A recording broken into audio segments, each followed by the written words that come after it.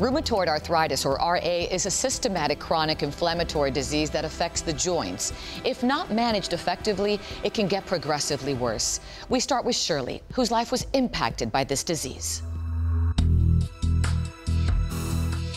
Starting my day with RA is usually difficult. I felt stiff and I struggled to get going, and that affected the rest of my day, and it just took longer to do everything. RA affects my hips, knees, shoulder, elbow, feet, and my hands. I love to sew, but my hands were stiff and painful, and it made it very difficult. The Balancing Act is on location at the Rheumatology Associates of Oklahoma to learn more from rheumatologist Dr. Latisha Heinlen. Rheumatoid arthritis is an autoimmune disease, which means your immune system is attacking your own body. And in this disease, it's actually attacking your joints. It's a systemic disorder with inflammation throughout the body, and various tissues can be affected. Some of the joints affected include the hands, the shoulders, the feet, hips, knees, and wrists. Patients experience pain, aches, tenderness, swelling, and morning stiffness. These symptoms often occur on both sides of the body, so it could affect both knees or both hands, for example. More than 80% of rheumatoid arthritis patients may already have joint damage within two years of disease onset. In fact, progressive joint damage may lead to other health problems if left untreated. Our goal as rheumatologists is remission or low disease activity. If your current therapy is not effective or if your RA is progressing, you may need to add another treatment option or switch to a different medication. There are several treatment options available. Those aim to relieve symptoms like pain relievers or steroids, and DMARDs, which are disease modifying anti rheumatic drugs which target the underlying cause of this disease.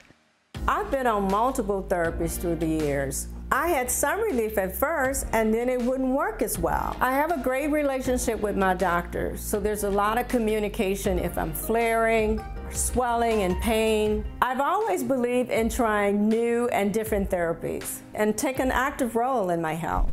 While there is no cure for RA, it is possible to slow or stop the progression. Patients have seen improvements in their symptoms by targeting pro inflammatory cytokine pathways, such as TNF, JAK, and IL 6, which play a critical role in RA disease progression. A majority of patients with active RA have elevated IL 6 levels, which plays a central role in inflammatory pathways that may lead to chronic inflammation, disease progression, joint destruction, and systemic manifestations, including pain and morning stiffness.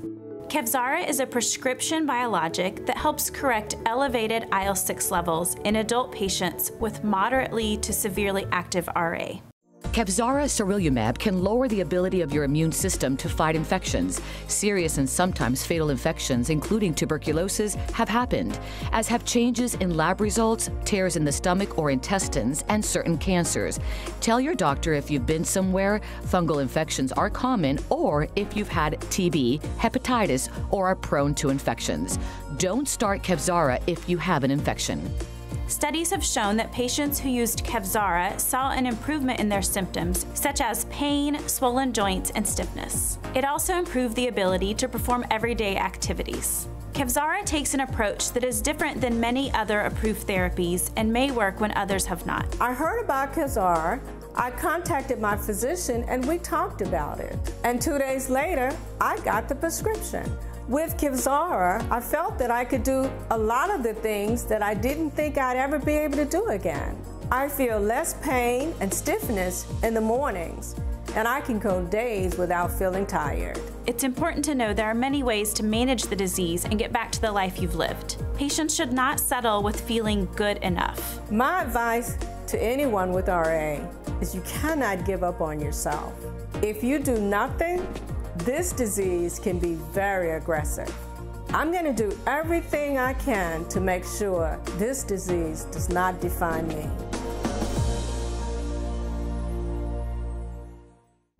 It's so great to see Shirley doing well. For full prescribing information, visit Kevzara.com and stay tuned for important safety information. As always, you can visit our website, TheBalancingAct.com. We'll be right back. Important safety information. Kevzara can cause serious side effects, including serious infections. Kevzara is a medicine that affects your immune system. Kevzara can lower the ability of your immune system to fight infections. Some people have had serious infections while using Kevzara, including tuberculosis, TB, and infections caused by bacteria, fungi, or viruses that can spread throughout the body. Some people have died from these infections. Your healthcare provider should test you for TB before starting Kevzara. Your healthcare provider should monitor you closely for signs and symptoms of TB during treatment with Kevzara. Before starting Kevzara, tell your healthcare provider if you think you have an infection or have symptoms of an infection with or without a fever. Symptoms may include sweats or chills, muscle aches, a cough, shortness of breath, blood in your phlegm, weight loss, warm, red, or painful skin or sores on your body, diarrhea or stomach pain, burning when you urinate or urinating more often than normal. If you feel very tired or if you've been treated for an infection, get a lot of infections or have repeated infections, have diabetes, HIV, or a weakened immune system, have TB, or have been in close contact with someone with TB, live or have lived or have traveled to certain parts of the country, such as the Ohio and Mississippi River valleys and the Southwest, where there is an increased chance of getting certain fungal infections, histoplasmosis, coccidioidomycosis, or blastomycosis, have or have had hepatitis. After starting Kevzara, call your healthcare provider right away if you have any symptom of an infection. Changes in certain laboratory test results. Your healthcare provider should do blood tests before and after starting Kevzara to check for low neutrophil, white blood cells that help the body fight off bacterial infections, counts, low platelet, blood cells that help with blood clotting and stop bleeding, counts, and an increase in certain liver function tests. Changes in test results are common with Kevzara and can be severe. You may also have changes in other laboratory tests, such as your blood cholesterol levels. Your healthcare provider should do blood tests four to eight weeks after starting Kevzara, and then every six months during treatment to check for an increase in blood cholesterol levels. Tears, perforation of the stomach or intestines. Tell your healthcare provider if you've had a condition known as diverticulitis, inflammation in parts of the large intestine, or ulcers in your stomach or intestines. Some people using Kevzara had tears in their stomach or intestine.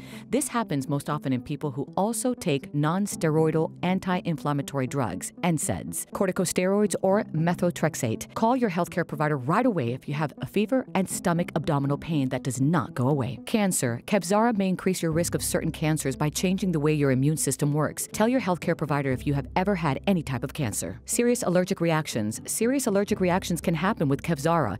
Get medical attention right away if you have any of the following signs shortness of breath or trouble breathing, feeling dizzy or faint, swelling of your lips, tongue, or face, moderate or severe stomach, abdominal pain, or vomiting or chest pain. Do not use Kevzara if you're allergic to sarilumab or any of the ingredients of Kevzara. Before using Kevzara, tell your healthcare provider if you have an infection, have liver problems, have had stomach, abdominal pain, or a condition known as diverticulitis, inflammation in parts of the large intestine, or ulcers in your stomach or intestines. Recently received or are scheduled to receive a vaccine. People who take Kevzara should not receive live vaccines. Plan to have surgery or a medical procedure. Are pregnant or plan to become pregnant. It is not known if Kevzara will harm your unborn baby. Are breastfeeding or plan to breastfeed. Talk to your healthcare provider about the best way to feed your baby if you use Kevzara.